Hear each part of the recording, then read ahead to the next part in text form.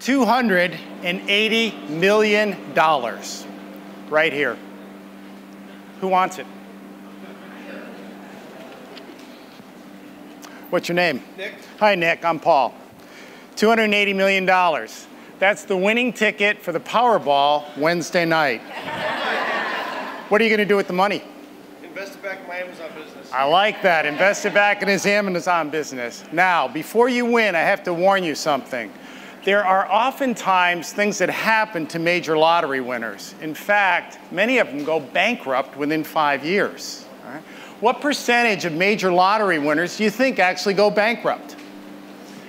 25, 35, 50%? 50? Some people say higher. You're right. It's actually, oops. Got to change these batteries. Can you hit it for me? No, I meant hit the laptop. Yeah, this isn't going to work. Can you slide the advance forward?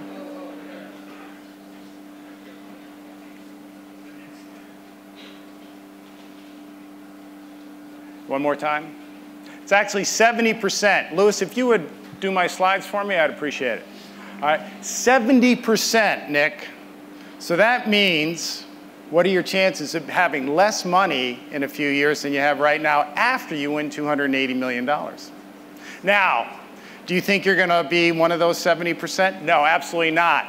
How many of those 70% people thought, there's no way I'm going to be bankrupt after I won millions of dollars? Now, let me ask you this question Do you think it's because of the decisions they made? Yeah. Do you think they made good decisions? Or you think they made bad decisions? Bad decisions. Here's the point. And Nick, I want you to be one of the 30% who's happy in five years because you have lots of money. Oftentimes, it's not how good our good decisions are that determine our success in business or life. It's how bad our bad decisions are. Now, let me ask you this. Am I the only one in the room that's ever made a bad decision?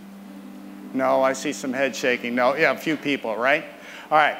The science of decision making actually shows there are certain reasons that we make bad decisions.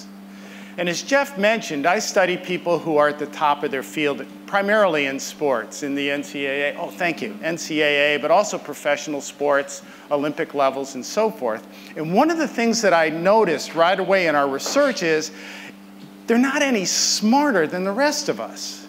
What they tend to do first and foremost is they avoid making really tragic decisions. So, to help you in your decisions in business, let's take a look at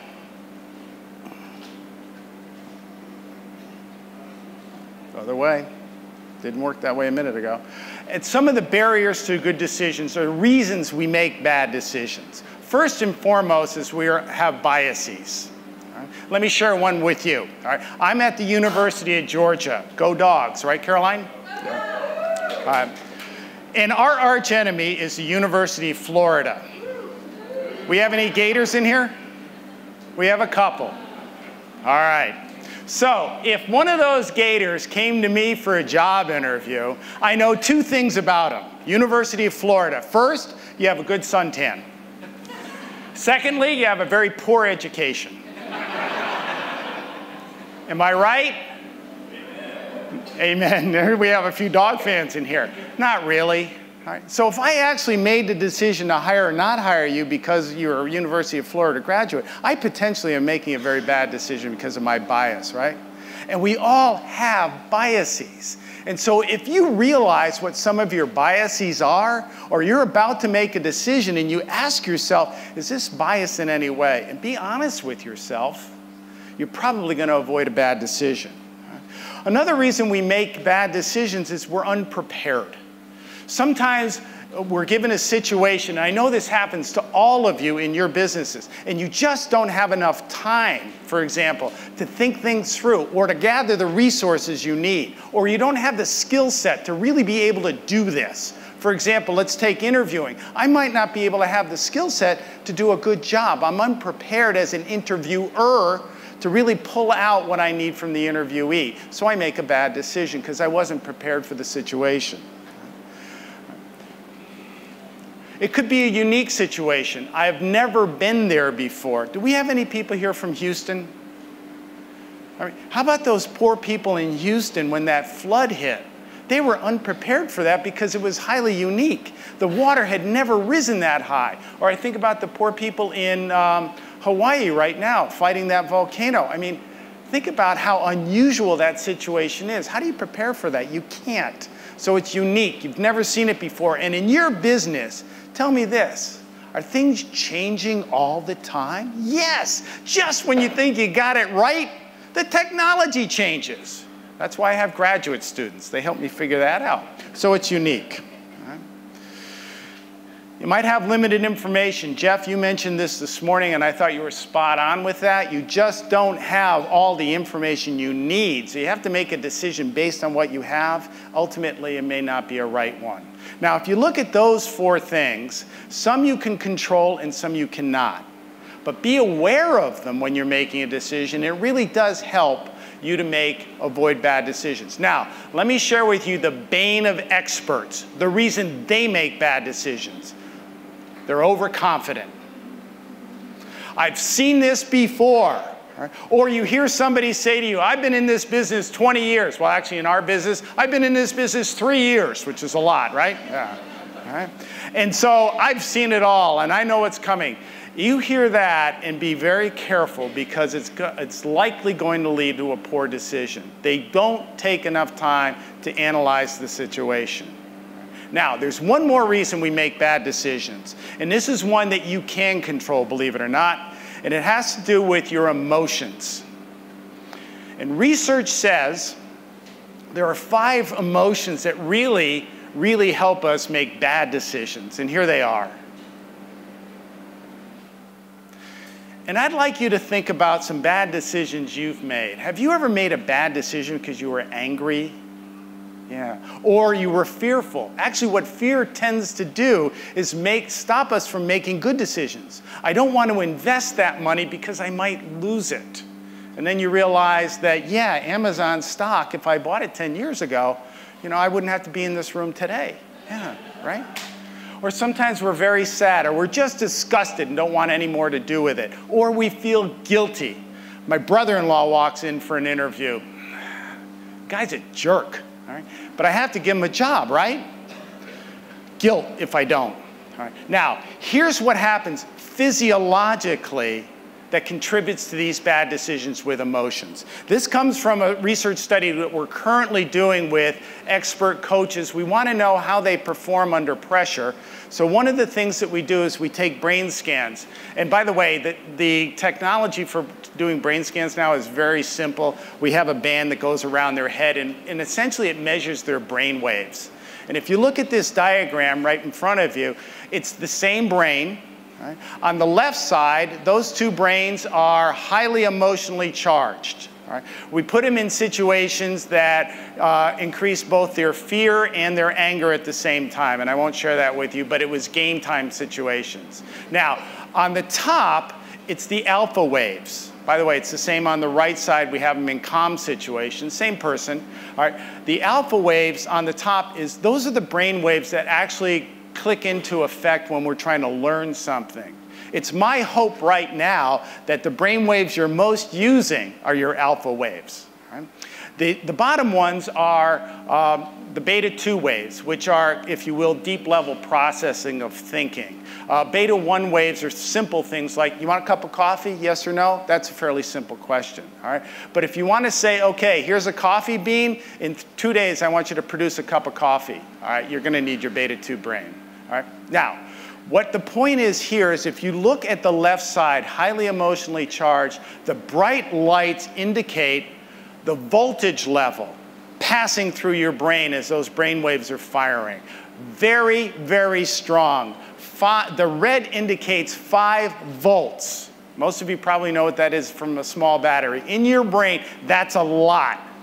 So when it's firing that fast and that powerful, that's why when you think about being angry, you feel a lot stronger, don't you? You also feel like you want to make this decision now, fast. It's a reaction. Right? And that's actually true for most emotions. All right, now on the right, or uh, yeah, the right side over here, it's calm. Right. That's a normal, hopefully your brain is more that color right now, lower voltage. All right. So you're able to be more deliberative in your thinking. When you're highly charged, you cannot be deliberative. All right, here's the second thing that happens. When this brain starts firing high red like that, it releases a hormone called hydrocortisone, uh, commonly known as cortisol. And here's what that does to the brain. By the way, it also releases a little insulin, which spikes up your, um, your insulin, or, um, yeah, um, somebody just said it. Yeah, it, it makes you stronger, actually. It makes your uh, abilities for your muscles to fire.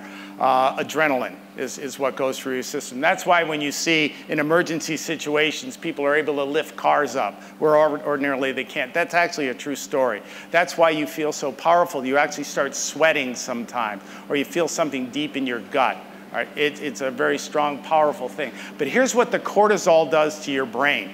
Right? If you look at this part right here, that's right in here. In fact, if you would just touch your forehead right here. All right. That's your prefrontal cortex. There's no quiz at the end of this, so don't worry about that. Prefrontal cortex. That's where you do most of your deliberative thinking, your decision making, analytic decision making. All right. That's why it's also the thickest part of your skull, because your body's trying to protect that because it's so important. But what happens is when you're highly emotional and that cortisol is in there, it actually suppresses your ability to fire neurons in that part of your brain. In other words, what the brain is doing is restricting your ability to make deliberative decisions. Why would it do that? For this reason. When you're highly emotionally charged, you're in a fight or flight situation. You either want to fight somebody because you're angry or you want to flee because you're fearful or something else. So your brain is saying, do not think, react, and react strongly. And that's not a good recipe for a great decision.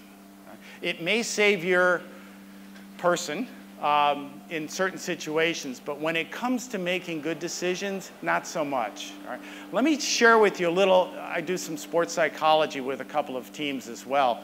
Uh, let me share with you something that would help when you find yourself fearful or angry or whatever. I'm going to ask you to do something, but it will not be embarrassing. It won't be recorded, so please just bear with me. All right, first thing is you're both, you're all sitting. If you would put your hands on your, on your thighs, right, and close your eyes. What we've just done, closing your eyes, is you cut down the amount of input to your brain. Now what I want you to do is breathe deeply through your nose and exhale out your mouth. One more time. And exhale out your mouth. Good. You probably feel a little lightheaded, don't you? Okay, here's why.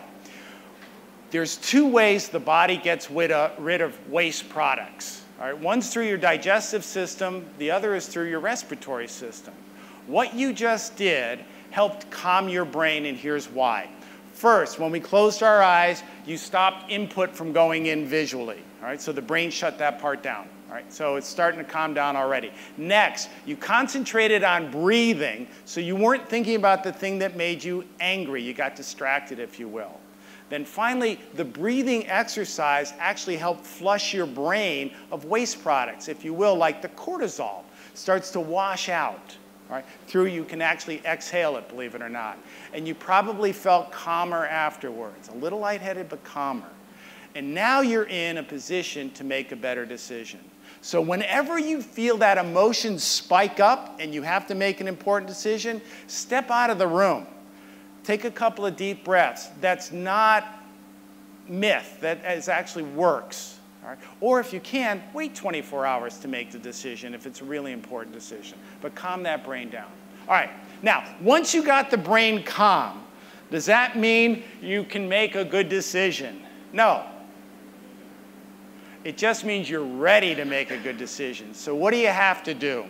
There's actually two processes we use to make great decisions. One's called analytic decisions, and the other's called intuitive decisions. Yes, that's right. Intuition produces great decisions. And I'm going to explain both. But first, let's take a look at analytic decisions.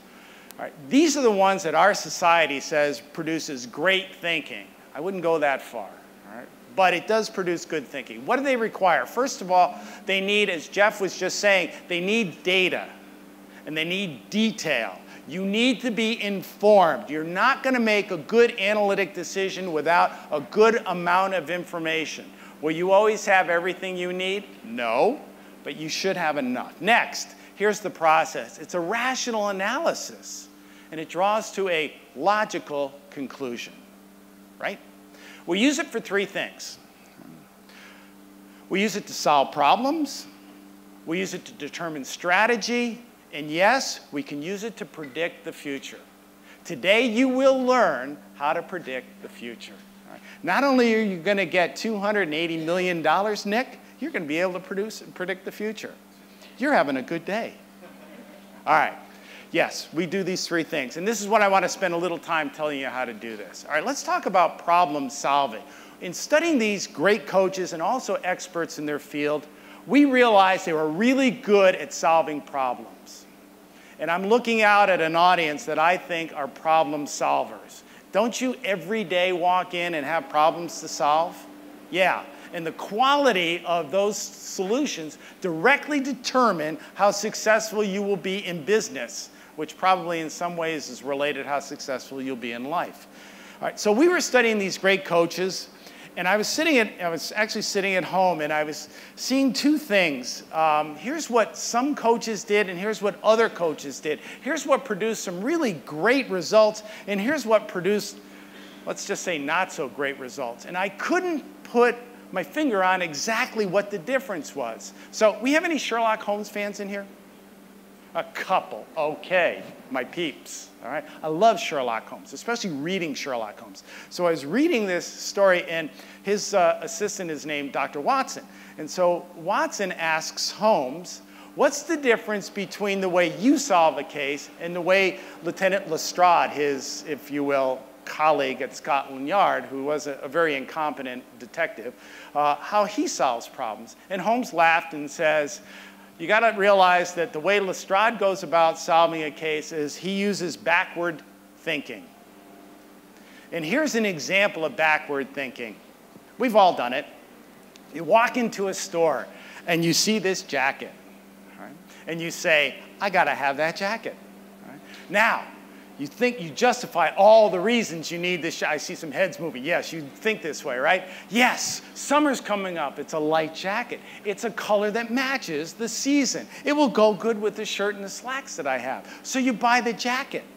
You take it home, or actually, you can go online now and do that, and it arrives in the box. Right? You take it out, you put it on, and what do you determine? Yeah, I see the looks. Yeah, that, choice. So if you're a guy, you hang it in your closet, hope to never see it again. If you're a woman, generally you're a little smarter and you send it back and get what you really need. That's backward thinking. In other words, you make the decisions and then you try to justify it. So if you're ever in a situation where you're trying to justify a decision that you made, let that be a warning to you that that was a bad decision. And as long as you keep trying to justify it, you're just going to dig that hole deeper. Now, the opposite to that, and the way Holmes went about solving a case, was forward thinking. In other words, he would put all of the information together to form the solution. Because he realized what Lestrade was doing in trying to justify his decision, all the negative input, Lestrade would just ignore, not needing to know that. And when you do that, that's another reason your decision is going to be bad. So forward decision means that you actually move forward. All right. So let me give you an example. I need a jacket. Summer's coming up. So I look in my closet. What colors don't I have? I might look online. What styles are hot right now? All right, and then what are the prices? What's a good price to pay? And I may go to a few stores, try some on, see how they look. Maybe ask a few other people for opinions. In other words, now I'm starting to gather the data that's going to help me make the right the solution.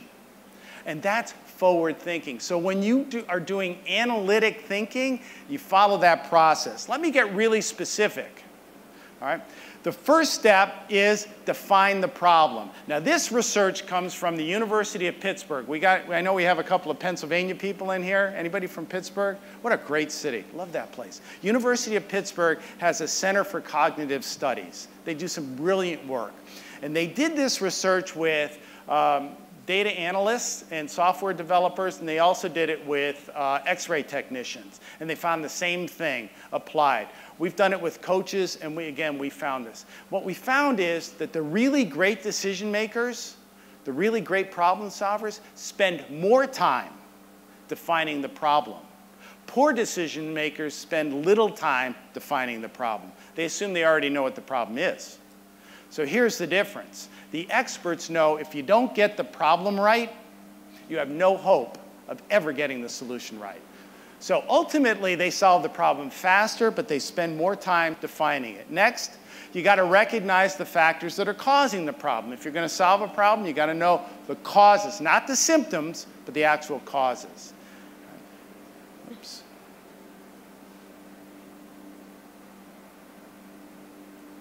Come on. There we go. And here's the second thing that differentiates great decision makers. They identify possible solutions. Notice that's plural, solutions. Poor decision makers will usually go with the first solution they come up with. Great ones say, okay, that is a very viable solution. But let's see if we can come up with another one. And then another one after that. And maybe even another one after that. And here's what gives them the advantage. First, if the first one doesn't work out, they scrap it almost immediately and they implement plan B. They've got it ready to go. Or, here's another thing they discovered. If we take plan A and plan C, put it together, that's better than any plan we've got. So you hear the term thinking outside the box. It's, it's actually a psychological term and it is true. This is how they do it. They say, what other solutions work rather than let's jump on the first one. And that's generally going to lead to backward thinking, by the way. And then here's the last thing that happens. They implement the solutions and then they evaluate them to see how good they are. And here's another difference. Experts are always thinking, can it be better? And if so, how do I make it better? Good performers, and I mean good performers, are always satisfied with the solution at hand. And so they don't really look to solve it again or, or improve what it is they're doing. All right. How about strategies? Most of you, I know all of you, are uh, entrepreneurs. You have your own business. So strategic thinking is very important to your success in business, yes? So here's the three things that you need to think about in terms of strategic thinking. The next time you're really thinking deeply, doing a deep dive into your business, first of all, set your priorities. What we really mean by this is where do you want to go? What's your vision? As my friend Ken Futch said, it's, it's what's the why of your business? Why are we doing this? And I bet that meaning is deeper than just to make a lot of money. Because if you do the things right, the money's going to come. Or I can give you a winning lottery ticket. That also lets you know where to commit the resources. If you know the journey, then you're going to know the transportation you need. What resources are you going to need? And then finally, it lets you direct your actions. And anything that isn't going to lead you to your priorities or isn't a priority, you shouldn't be attending to. And I bet many of you, I fight this all the time, are spending a lot of your day on things that just aren't priorities. And when you do that, you're wasting time. The great ones don't do that. What's my priority? What resources do I need to give to it? And what actions do I take? Do not start this way when you're thinking about your business. Do not. What do I do next? Don't start with the actions. Start with the vision. Start with the priority. And I know that sounds simplistic and it sounds kind of uh, hoity-toity. It's not. What are your commitments? That's one of the things I really like about Seller Labs. You know, you saw Jeff put that up there. That's their values. That drives their decision making. It drives their strategy. And when you got that, you've got a lot going for you in terms of strategy. All right, let's talk about people who make great strategic decisions. What do they do? All right. First of all, they change batteries often. No, Jeff, Jeff mentioned this. They use real-time information. Think of it this way. If you're using last year's data to try to solve tomorrow's problems, you don't have much of a chance. What's happening now and what are the trends? That's what you're looking for. The freshest information you can get. Right? So you use that. You also integrate you integrate your decisions. You realize that if you make a personnel change or an action change, it will influence your resources. So you realize that certain decisions are going to drive other decisions. Most, most of you sell products in your, in your Amazon store. And so if you're going to add a new product, how does it affect the other products in your store? Or if you're going to get rid of one and slip in another one, what how does that change your mix or your brand or whatever it might be? So you recognize the decisions are integrated. This is a great one. Come on. Consensus with qualification. Let me give you an example. Nick's won $280 million. So Thursday morning, by the way, Nick's a good decision maker, and he realizes $280 million, I need a strategy. I also need a Porsche. Nothing wrong with a little indulgence, Nick, all right? But I need a strategy, all right? And I'm not, you're not a financial whiz, are you? No, I'm not. So I need some opinions, all right? So that's consensus, but I need qualification. Here's the qualification. Nick's going to conform, uh, organize a group of people, and some of you do this, right? and you're going to get their opinions. I want to know what you would do. What do you think we ought to do with $280 million? I bet you got some ideas, don't you? Yeah. And I'll pay you for your time. No, not 279 million, but I'll, I'll pay you for it. All right. So you get these uh, informed opinions and you try to reach a consensus. But here's the qualification. The qualification is ultimately it's Nick's decision. It's your responsibility, and you don't shy from that. Anybody that makes excuses, I made a bad decision because I got a bad advice, no. Ultimately, it's your responsibility, your decision. And that's the qualification. So you try to get as many informed decisions or information as you can, but ultimately realizing it's your decision. And what you say to people is, I appreciate the input you got. I listened to you carefully. I decided to go in a different direction for these reasons, but I do appreciate the information you gave. Most people know when you sincerely listen to them, and that's all they're looking for. They realize it's not their decision, it's yours. It's your business. It's your money, Nick. All right. And then here's a great one. If you're considering strategies for your business, I'm sure all of you are thinking about, well, what are other people similar to me doing? What other business plans, if you will, are other people using? And so there's alternatives to what you do. So consider the alternatives simultaneously, not independently. Independently would mean like, for example, I look at your business model and I say, okay, I like this, this, and this. I don't like this, this, and this, so I'm not going to use it. I kick it out. I look at yours, I like yours, so I'm going to go with it. I look at yours, not so much, don't like it. It's not the best way to do it. Let me give you an example. Let's say you were renovating your house, and I own an art gallery, and you came to me and you said, Paul, I really like oil paintings. I particularly like oil paintings that have kind of a calm setting. I love sun and bright lights. And I say to you, I think I've got some paintings for you to consider. Here, take this one home. Hang it up for a week or two. Bring it back in a week or two, and I'll give you another one. Tell me how you like it. Good? All right, two weeks you come back, I'll give you another one. Take it home, put it on the wall, look at it, bring it back. I'll give you a third one. Take that home, look at it, you bring it back. Now I ask you, which one would you want? By the way, most of you probably know what the data say. You're probably going to go with option two, door number two. Because the first one, you're hypercritical. Number two, you recognize that. By the way, you'll forget the errors in number two. When you hit number three, number three, you probably like that would be your second choice. No, consider them simultaneously. What if I gave you all three paintings at the same time? Take them home, put them up, and automatically you know which one you want, don't you? Because when you can compare things side by side, they illuminate the positives and the negatives for you in ways that you can't do independently. So consider strategic thinking simultaneously. All right. Predict the future. That's what we're all trying to do, right? Well, if you're going to use analytic decision making, you need two things. One is data points, and the other is contributing factors. And I'm going to illustrate both of these. Let's take data points first.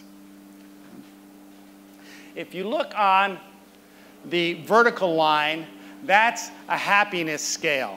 And it goes from one to six, all right? Rate on one to six how happy you are in life, all right? Boom. And by the way, it's just more than one question, but that's the scale.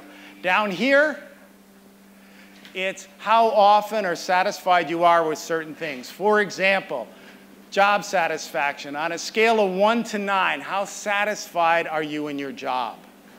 On a scale of one to nine, how satisfied are you with your marriage? All right? On a scale of one to nine, how often do you attend church? And by the way, you'll see that line kind of, and I don't know, I didn't do this study. I can't explain why they picked these variables. Just go with the research, if you will. But you'll notice that church uh, kind of flattens out after six days because um, there's only seven days in the week. So um, not every research is perfect. So, all right, I was talking to um, Danica and Maria last night. Where are you? Ladies. Oh, right here in front. And they were talking about their daughters and going to college and decisions that they have to make and so forth. How many of you are parents? All right. How many of you had parents? Yeah, that's what I thought. All right. All right. Did your parents ever try to give you advice? Or as a parent, do you ever try to give your kids advice? If you're trying to give your kids advice, you know how tough it was for your parents, right? Yeah. All right. So if you are going to give your parents or your kids advice, Danica and Marie, you know, what would you give them? Well, here's something that the research says. Right? The most important thing that you have to pick in life is your partner. Because if you're not happy in your marriage, you're not going to be really happy in life. If you love your marriage, your happiness is going to soar. That's what the research says. Is it true in all cases? No, research isn't like that, but that's the trend. All right? Second most important thing, job satisfaction. Pick a job that you feel deeply satisfied with. Not one that earns you necessarily a lot of money or not, but something you find deeply satisfying. That's number two. And hey, once in a while, go to church. It won't hurt. All right, those are data points. So when you can plot a trend, all right, you see a trend going up or you see a trend going down. That helps you, quote unquote, predict the future. Right? Next, contributing factors. Right? For example, if you were going to, let me just explain this. Uh, this was done in 2017, and they wanted it in network preferences by generation. And so they looked at Facebook, Twitter, Instagram, Snapchat, Pinterest, Google Analytics, and YouTube. And what they found, for example, with the baby boomers, let's start there, almost exclusively, a little over 60% of baby boomers, their social media of choice or their network of choice is Facebook. Right? You can see that a little bit of Twitter, they never heard of Instagram, all right, or Snapchat, all right or Pinterest is also low. So if you were trying to market to these people, by the way, Seller Labs did a great job. No, with the Facebook page, look at that. They hit it. They nailed it. Right? They knew who was going to look at it, everybody. Now, if you were doing a marketing with millennials, well, about 30% of millennials, their first choice in uh, network is Facebook. But they also like Instagram and Snapchat. So you would also have to relative, uh, relate some of the information, marketing information, to those venues. Right? So if you were doing a millennial campaign, you would have to look at these factors. And the more of those factors you put into it, the greater your success is going to be. Again, with the baby boomers and even the Gen Xers, probably very limited in other fields, you know where to concentrate. So what contributing factors is you can predict the success of something based on what factors you're using, what factors contribute to the success. Let me give you a real good example.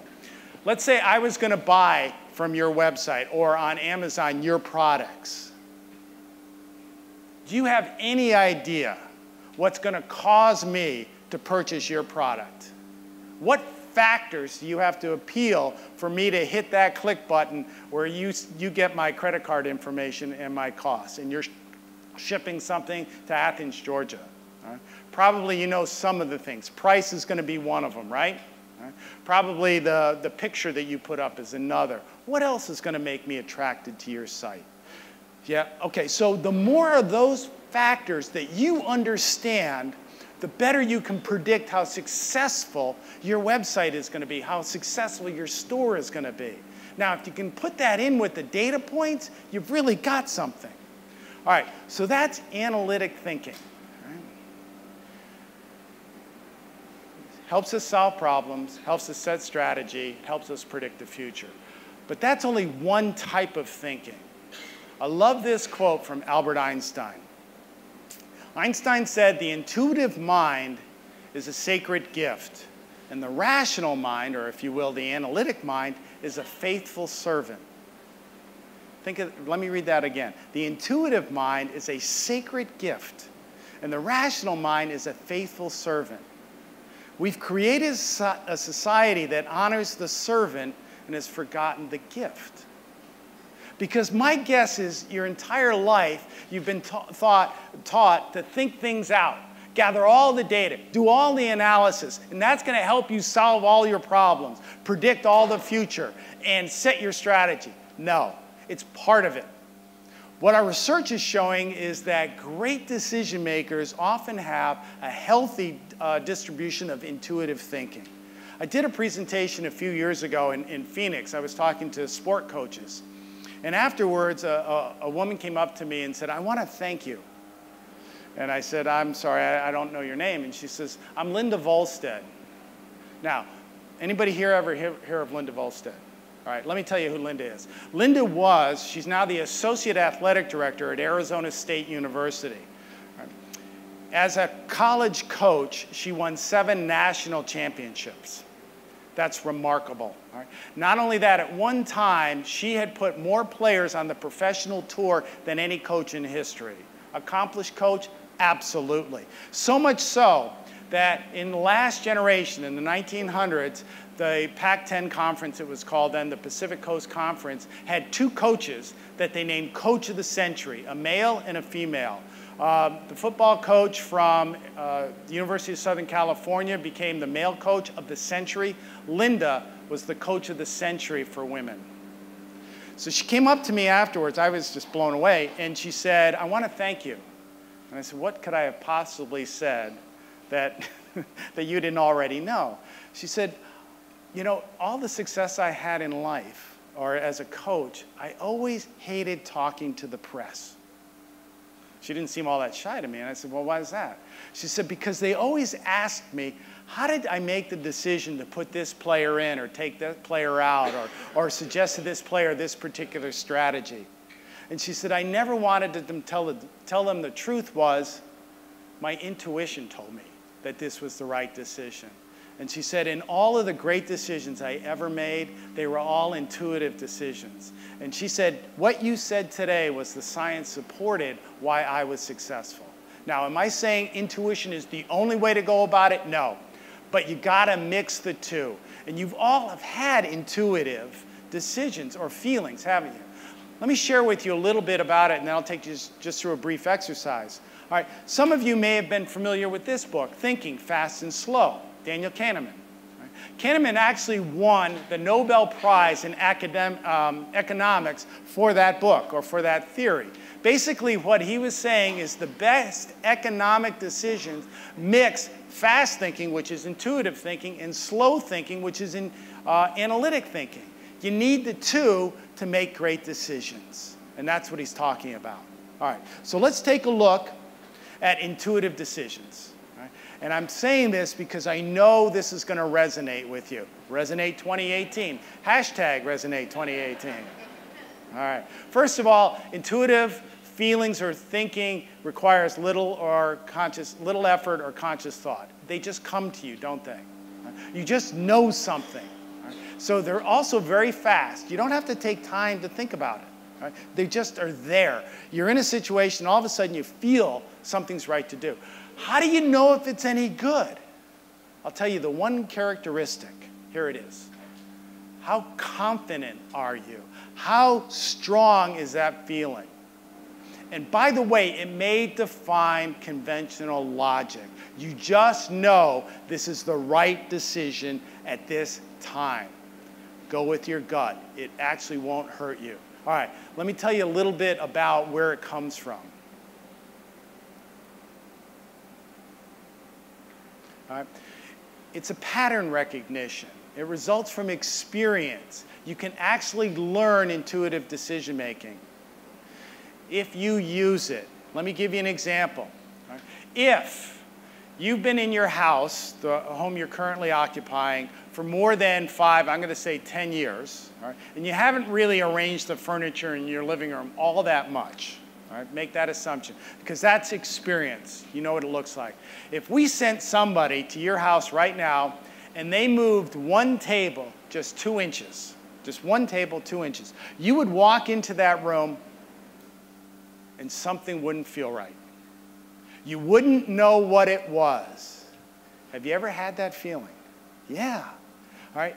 And you're not doing an analytic analysis. And that's why we often dismiss this. But what's happening is your brain is recognizing the pattern isn't the way it needs to be. The pattern's out of order. And that's what you're picking up on. And that's what intuition does. It puts a pattern together. So you need some experience in this. And again, you can learn it. Right? So here's the difference. Your conclusions in intuitive decision making is based on impressions, recognition of patterns, not connecting or collecting data points. You're not putting a puzzle together. Right? You're seeing a picture, a mosaic, if you will. Those of you that are impressionists, um, aficionados, you love the impressionist art, Monet, for example, or Renoir. Have you ever stood really close to one of those things? Yeah, they look like little dots, right? And you're thinking, I don't get this. But as you walk back further, the picture comes into view, isn't it? And that's, that's how intuitive decision works. All right. so, analytic and intuitive decisions. Right? Let's talk about how they apply in life. You ever have a day where it feels like all you're doing is putting out little fires? Psh, psh, see a lot of heads moving. But every once in a while, one of those little fires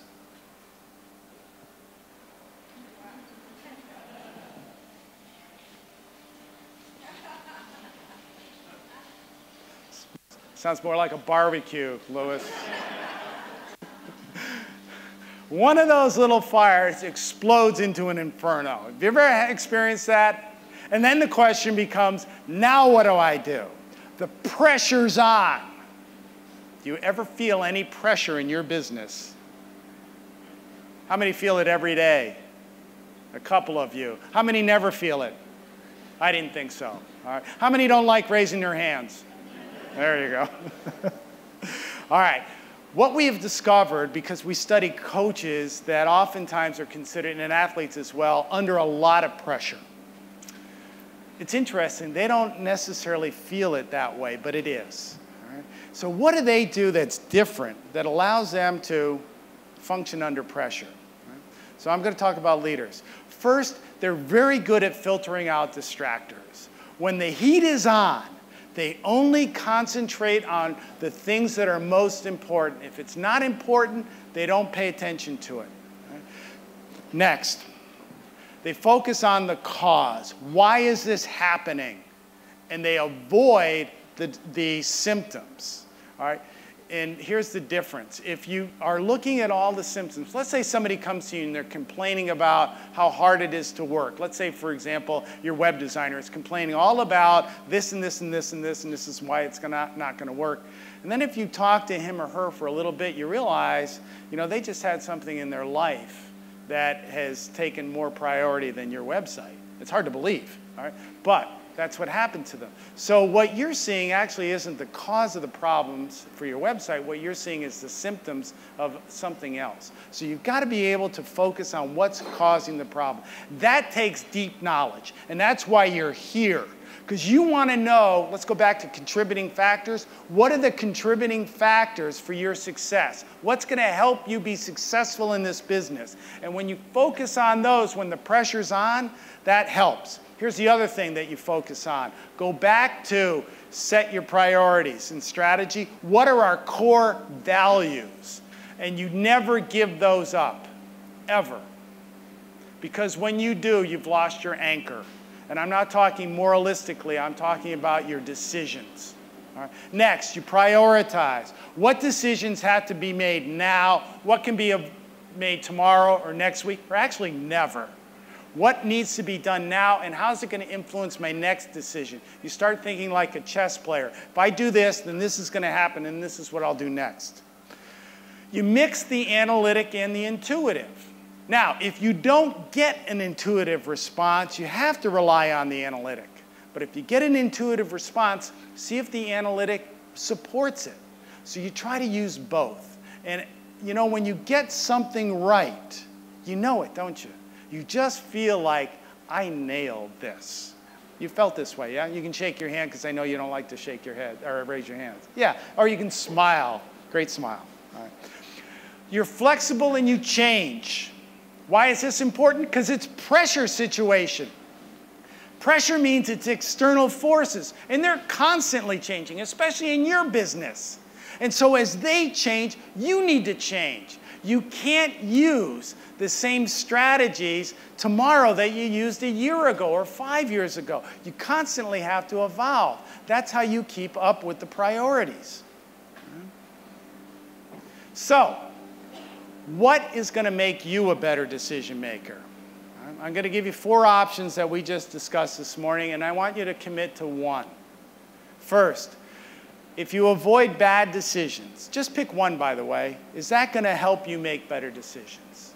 Or how about functioning better under pressure situations? Maybe trying to prioritize decisions, be a little more flexible, mix the analytic and the intuitive. Or maybe you need to be better at analytic decision making, solving problems, or setting strategies.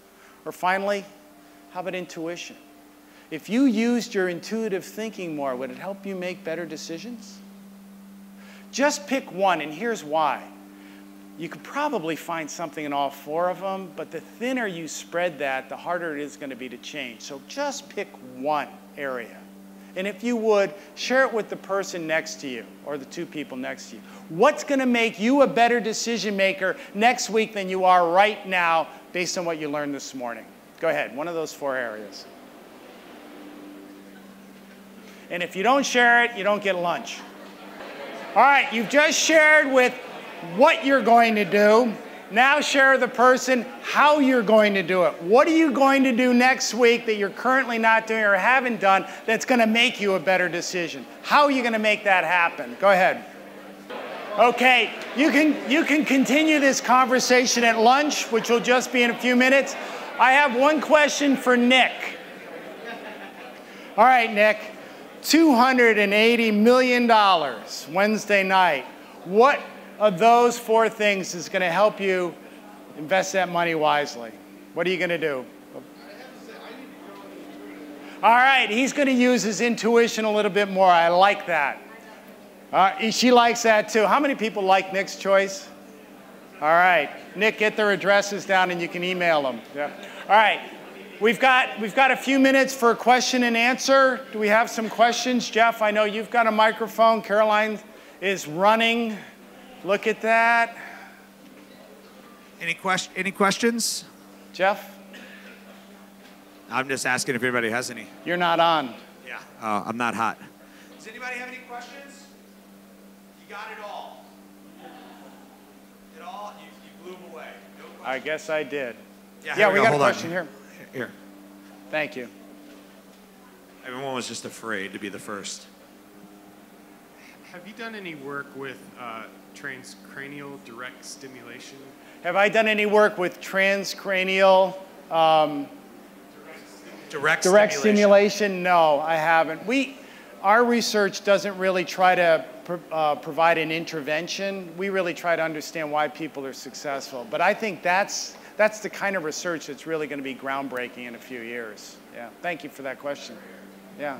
Uh, can you speak to the dilemma between um, getting advice from somebody that's based on, you know, analytical decisions or their own intuition, and then balancing that with the ultimate decision that you make based on your own intuitive tendencies? Yeah, that's a good one. Um, if I ask somebody, let's see if I have the question right. If I ask somebody that provides me analytic information and then another person provides intuitive information, how do I process each differently?